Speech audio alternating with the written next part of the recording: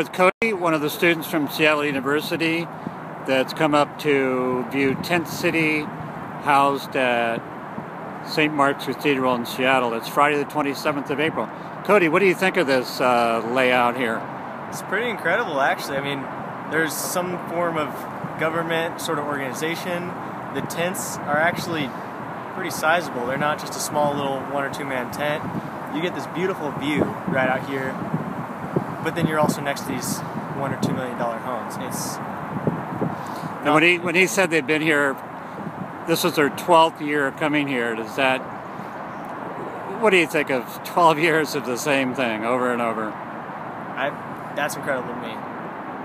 Uh, and then also just hearing about the different battles with the city and their neighbors and just all the terrible uh, politics has been behind where they can live for the last 12 years. So, looking at this situation, would you support tent cities as a stopgap for housing?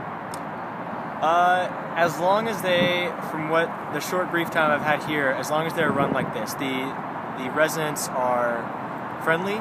Um, they they do enforce the rules, you know, of not doing their drugs or drinking in the neighborhoods. If they're going to do that, go somewhere else. Um, but it, it does seem like a very safe environment. The people here seem friendly. Um, I'd, I'd support it. Great, thanks, man.